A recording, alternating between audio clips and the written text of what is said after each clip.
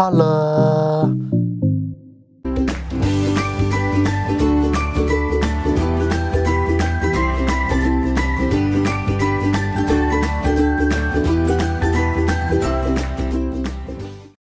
video you're about to watch is based on my opinion. I have no scientific data to back up my claims on how to grow zoas and or keeping them alive other than my 15 years plus of reefing experience. This is my story. What's up, Holla Maniacs? Welcome to another episode Holla at Your Boy YouTube video. Today is a very exciting day. You know why? Let me show you. Let's live tonight like fireflies, and one by one, light up the sky. We disappear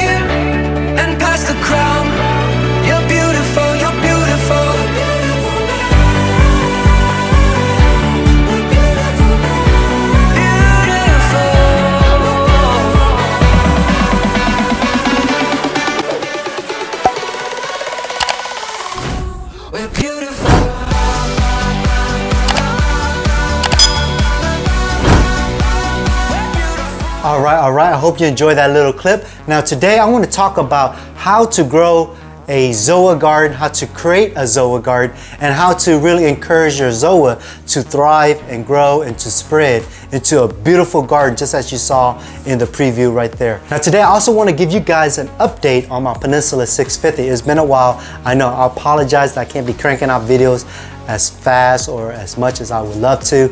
Uh, just, you know, life with kids, you know, you gotta find that time and also to find time where it's quiet with no kids screaming in the background. It's quite challenging, but I'm glad I'm able to get you guys a video today and I hope you, guys enjoy it. I got some new fish, I got some new corals, so, and I got a lot of growth. So I can't wait to show you guys all that in terms of the video today. So I hope you enjoy it. Alright, so let's talk about my parameters. Now, I wanted to stretch that do not chase numbers. What you want to do is whatever uh, parameters you have set at in terms of the safe range, you want to stick with those uh, numbers. Um, so if you happen to start out uh, and your tank is doing well at a alkalinity of 9, then you want to keep it around 9. The thing is you don't want your alkalinity to swing up or down uh, too much because you want a stable uh, tank in order for your tank to thrive. Now let me ask you a question. Have you experienced where your zoas are melting, where it's dying, where it's not opening up, where one day is opening up and looking great, the next day it's just like shrinking and just closed up and just won't even open up anymore and eventually it just melts away and die? Let me tell you something, I understand, I feel you, because that happened to me too. Now let me share with you something about zoas. If they're not opening up, that means they're not feeding. And if they're not feeding, they will eventually melt away and die.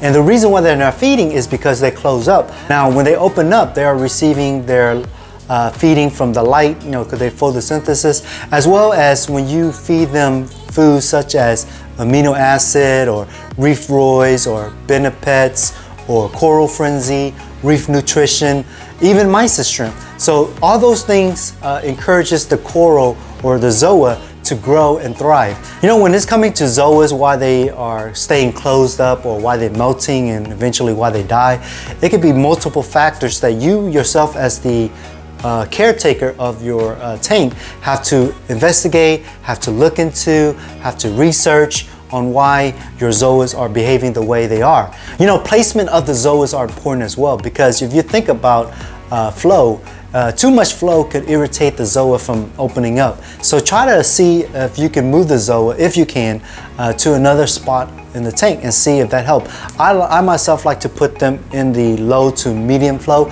and that's why I have them here in the reef tank is at the towards the end of the peninsula where the flow is at the lowest and also at the medium uh, uh, uh, range so that the zoas are not too bothered by the flow and they can still open up easily, especially if I'm feeding them food uh, in terms of mysis shrimp or something, they can easily catch it. And you know, another thing to consider in terms of why zoas not opening up is fish and invertebrates. You know, uh, I have heard that uh, blue tangs nibbles on the zoas. Now, I haven't experienced that myself. As you can see, my fish are very healthy, fat, and well fed. And so they don't really bother the zoas uh, as I thought they would, or I took a chance to see if they would. But so far, so good. Now, that doesn't mean that uh, next week or tomorrow or whenever they will turn on me. But for now, let's just keep them well fed and see how it goes. But yes, that's the case where you hear of dwarf angels or some fish that just nibble at the zoas, maybe trying to uh, pick out pests or something, just enough to irritate them and keep them enclosed. And eventually they just keep on getting bothered in that area. And so zoas will remain closed because of that. And eventually they will starve and die. So uh, take a look at that to see if any fish that you have in your tank or shrimp or whatever that are bothering the zoas. Another thing you can may consider is lighting. Now you can have too strong of a light or too uh, weak of a light. Now as you can see in my zoa tower, I have tests with uh, the cheap lower end zoas up top on the highest peak of the tower and sure enough I have no problem growing them. As you can see they are spreading like wildfire and so I don't really uh, don't see the problem or the issue with intensity of the light because as you can see it's growing my acros just fine, it's growing my uh, euphyllias just fine, all the other corals just fine. And the zoas, I put them on top, uh, at least the lower end, uh, just to see how they react to the intensity of light. And so far so good, as you can see. This tank is 17 months in and so far nothing has melted away from uh, lighting itself or even the color in terms of fading or, or, even have the umbrella effect, you know what I mean?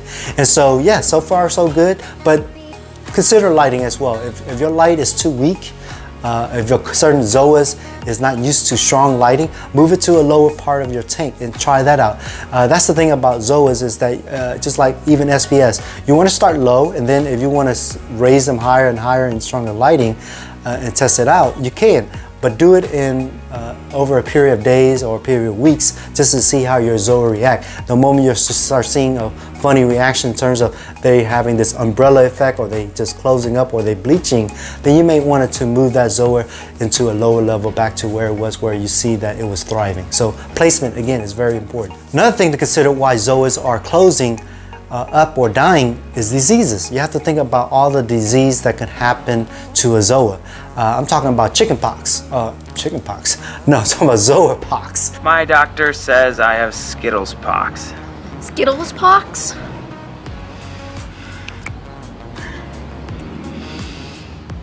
Are they contagious?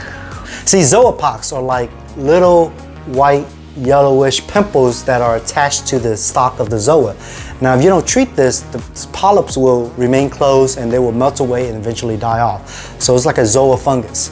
Now let's talk about things that can irritate a zoa. You know, when I feed my zoas with uh, or Reef-Roids or Reef Nutrition or Coral Frenzy, I use a pipette to, to kind of squeeze towards their direction. Now sometimes just by me coming over towards them, there's like a little shadow, they can kind of react to that light uh, discrepancy or just me by me being near them. So imagine things that are actually touching them and irritating them. Things like, like we said earlier, fish, fish that nibbling on them, uh, uh, shrimp or any kind of invertebrates that are always in their area, uh, taking away their food or, or just messing around in their area, irritating them. What about algae? Yes, I said it. Algae can actually irritate zoas. When you think of hair algae or bryopsis or sponges, uh, things that kind of grow around the zoa's body, it can actually help uh, keep them from receiving light and receiving food and opening up because they're always so irritated. Imagine just things touching them and they just don't want to open up. What about aptasia? Now aptasia actually sting other coral. What makes you think they won't sting your zoa? Same thing, if you see aptasia, uh, you want to pull it out or kill it with aptasia X or something just to get rid of the aptasia because that aptasia alone will keep the zoas uh, closed up and not grow. Now here's a, a, thing that you may not know that can bother zoas. Amphipods. You know that amphipods are very good for your reef tank and it's a good sign that your reef tank is thriving.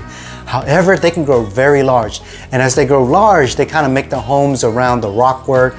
And based on where they make their home, your zoas can be in the way. And they're constantly moving and, and climbing around, taking food or whatever. And all that constant movement, again, will irritate the zoas uh, to remain enclosed. So that's why sometimes it helps to get fish that eat these kind of things to keep that population under control, like mandarins, tangs, or anything, or wrasse. You know, they, they can help keep that population under control to where it doesn't grow so big. Another thing that can irritate zoas are bristle worms. You see bristleworms, same thing. They live inside your rockwork and they just get bigger and bigger and bigger as they grow. And the bigger they get, all that bristle around their body irritates the zoas. You know, it just, you can see at night, the best way to look for uh, bristleworms at night, when the lights are completely off and it's dark, put your flashlight there, you start seeing bristleworms coming out and about. And the moment they, your light hit them, they, they just retract to their home. But you can see them living in the crevices between the rockwork and in, around your zoas. And those things also does bother your zoas. So it's just something to think about to help keep under control is your uh, amphipods population as well your bristleworm population. That's why this whole ecosystem is so interesting because every fish, every invertebrates, every animal, every coral has their function. And in order for the reef to thrive, everybody has to do the part. If you take one uh, species of animal or invertebrates out of that reef, it kind of mess up the ecosystem a little bit. And the more you take out uh, that doesn't eat bristleworms or doesn't eat amphipods or, or, or stuff like that, or doesn't eat Aptasia, you know, it will disturb the ecosystem. And when the ecosystem is disturbed, obviously chaos happens. And so certain uh, animals or certain corals will begin to die off because they needed other uh, protection that aren't there. And so that's why it's important to uh, learn about your reef and learn about what animals to put in your reef so that it can kind of help uh, keep that balance in the reef system. Now let's talk about pets. Ooh, I know, I hate pets. I hate the reef pests but they do exist and you do have to watch out for them. And that's why it's important to dip your corals any kind of corals you get it. It doesn't matter if you get it from the healthiest tank.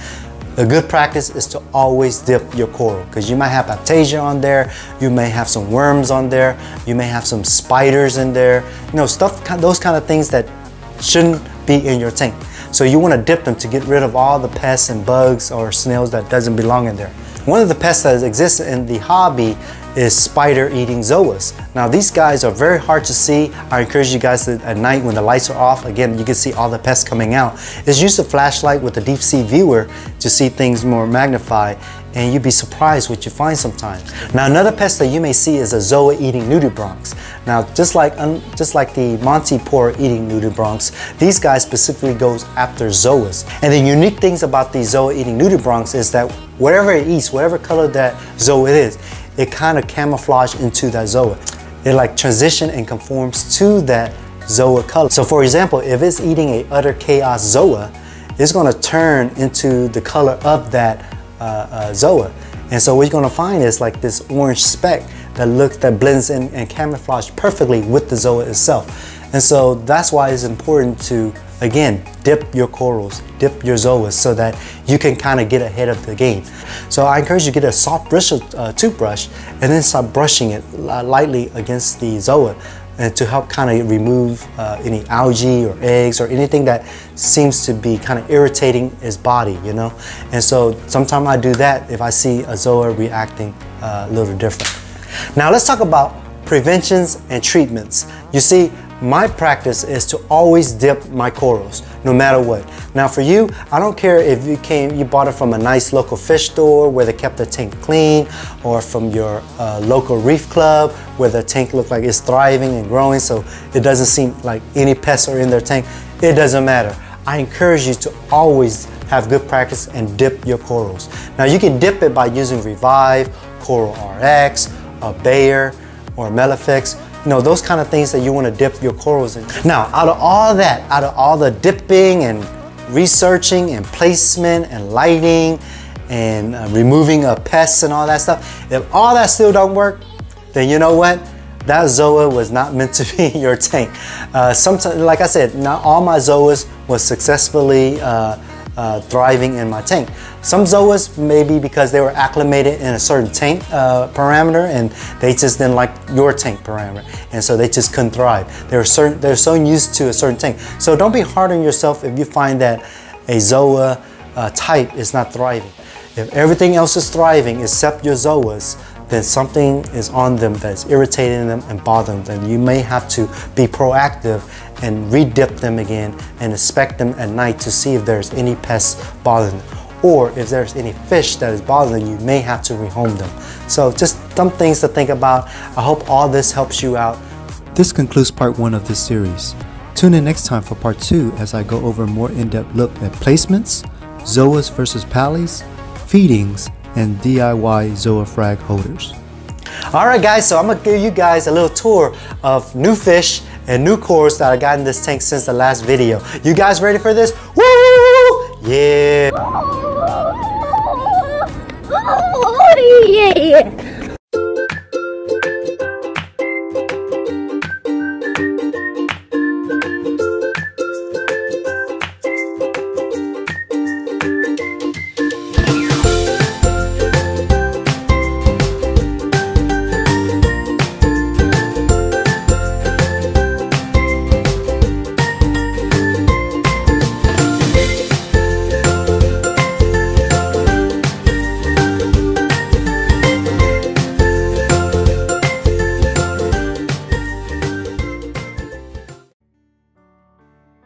Alright, as I give you guys an updated tour of my tank, today I talked about how to grow and maintain a Zoa garden. In the same way, you know, I want to share how we can grow and maintain our character into today's inspirational message. You see, our character defines who we really are, not who we say we are. You can pretend or put on a front, but eventually your character will show its face. You see, your character is your integrity. It means doing the right thing no matter the situation or what others may think. So, my question to you is Are you the same person in front of the crowd as you are in secret? Are you the same person at work as you are at home? Does your surrounding determine the way you act or is consistent no matter what? You see, my friends, to me, integrity is more important than popularity. Whether you realize it or not, our friends, our family, our coworkers, you name it, are observing if our words align with our actions. In my opinion, being faithful to God in your private life is more important than any public's perception.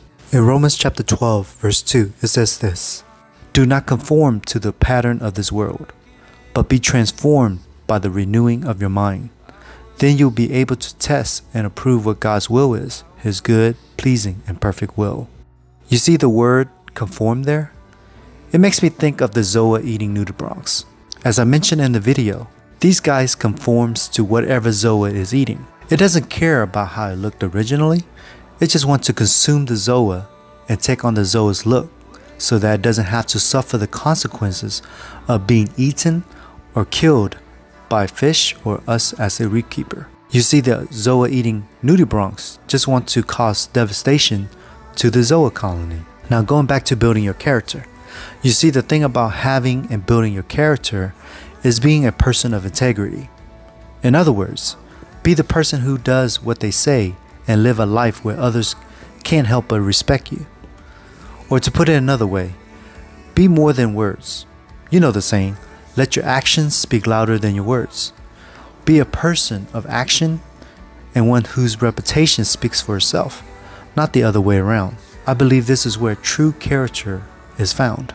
Another verse, in Romans chapter 5, verse 3 to 5, it says this More than that, we rejoice in our sufferings, knowing that suffering produces endurance, and endurance produces character, and character produces hope, and hope does not put us to shame, because God's love has been poured into our hearts through the Holy Spirit who has been given to us.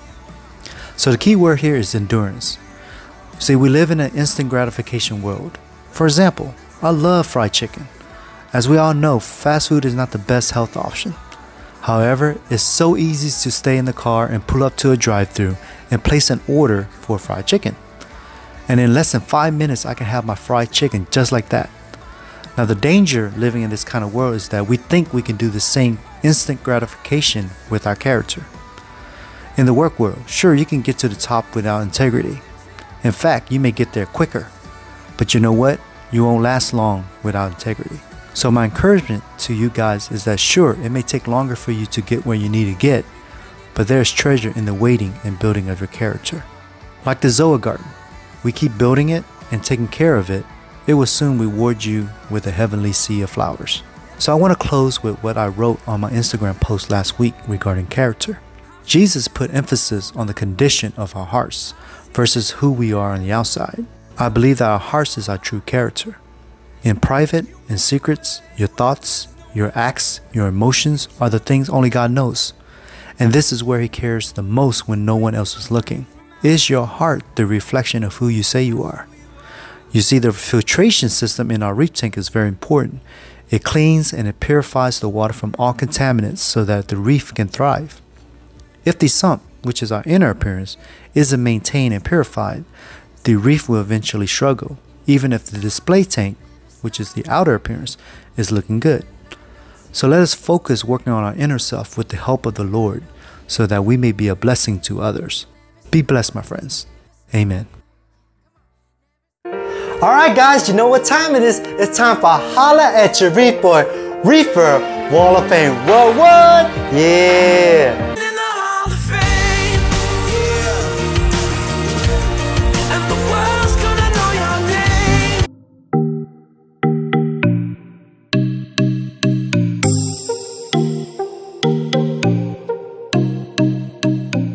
This first sticker I want to dedicate go to a very special reefer, actually a local reefer here in H-Town, Houston, Texas. And him and I, we have exchanged corals before, and he has very nice pieces. And he's actually in the middle of building a new and bigger tank. And that guy is no other than, boom, Lions Reef with high-end aquaculture coral. Now, as you see in his name and his company, he actually collects high-end sticks, high-end coral. So he recently just traveled to, I believe, Florida for a show. I think it was Reef Palooza. And also in this upcoming uh, Aquashella that's based in Dallas, he will have a booth there to show off his goodies. So check him out if you are going to Aquashella. He also have an Instagram page and you can see kind of some, not all, of his goodies. So get in contact with him, follow him, give him a follow and check him out because he really does have some really nice pieces. So give Mr. Lions Reef a follow.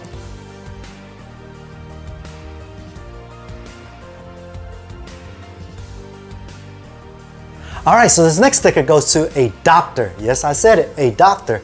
Now he is a surgeon, a plastic surgeon, but really have passion for the reefing hobby. Now this guy, man, you talk about his tank is really, really nice. You should check him out on Instagram and really check out his collection of tangs. That's right, tangs. He loves tangs. And that's no other than Mr. Boom, Alex Reef Tang. This is, or should I say Dr. Reef Tangs. So look at, I mean, these are some of the tanks he have in there, but he has a lot of beautiful tanks that is in his tank. So give him a follow on Instagram and you can check out his collection of fish and coral. But his tank, oh man, this is a custom built tank that is in his home. is really nice. So good job, my friend. So he is going on to the Reefer Hall of Fame. All right, this next sticker goes to a company that makes custom reef rocks, not racks, but rocks. You see, I bought a, a uh, piece of uh, rock from them that kind of blends in with my SPS island because my SPS island is made of uh, Tonga branches. And so they have this little uh, frag rock that looks like a Tonga branch that's curvy and also have a bunch of holes that I can put my frag plugs in. And so it looks really cool and it blends in with my tank really, really well. Now, if you have a uh, starting tank where you just want to put in nothing but their uh, custom rocks, you can, and you can tell them what, how you want how you want it to look, or you want some that are already pre-made that kind of blends in with your rock, uh, rock work. That'd be great too. And that company is no other than Boom Aqua Rocks. So feel free to check them out on Facebook and Instagram, and you can kind of see their collection of the things they built. They even make anemone cup uh, uh, rocks. So check them out, and you won't be disappointed. So here we go onto the Reefer Hall of Fame.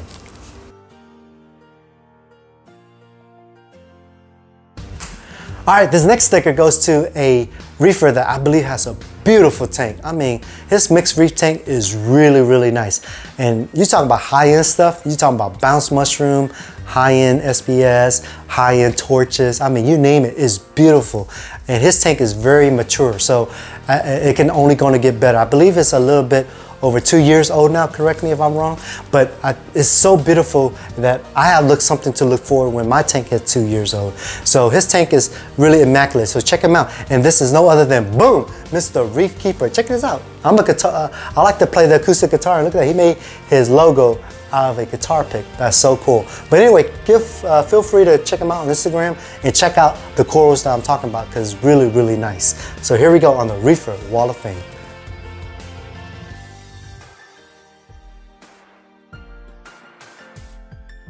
All right, this next sticker is long overdue. I really want to thank this reefer for following me along ever since I posted my first YouTube video, as well as my Instagram page. He's been following me, and you know he's just been checking out my channel and leaving comments and whatnot. But he too have a very nice uh, Red Sea S650 tank. So check him out. He also does videos on where he does local fish store tours and he goes to the Worldwide Coral uh, grand opening and all that stuff. So if you want to check out these previews of these fish store, go check out his channel, check out his tank and all that good stuff. So he's no other than Mr. Boom, Mr. Reefing Recon. So check him out on Instagram and via YouTube.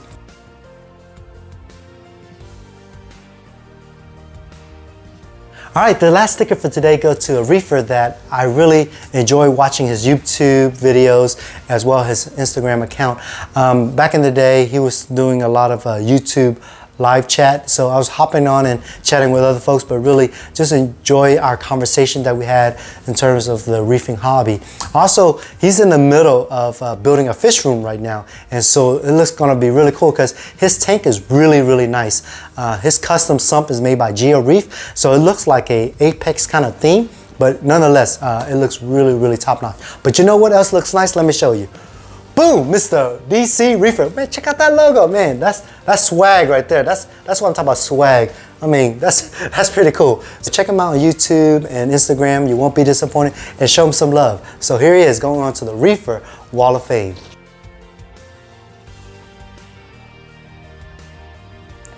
Alright guys, that's it for today's video. I thank you so much for watching and tuning in to today's video.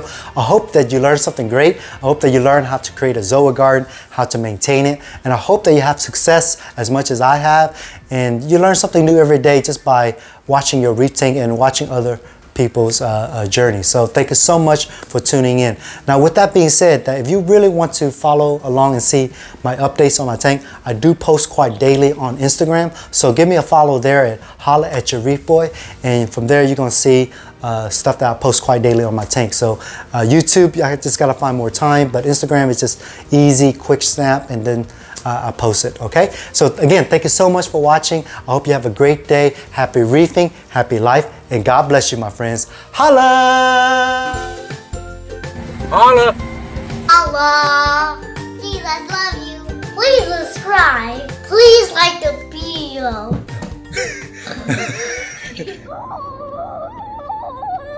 oh, yeah. Okay, no, you're gonna go yeah right here, like, woo, yeah. Okay, just stop right here. All right, do it again. All right, go women. Go.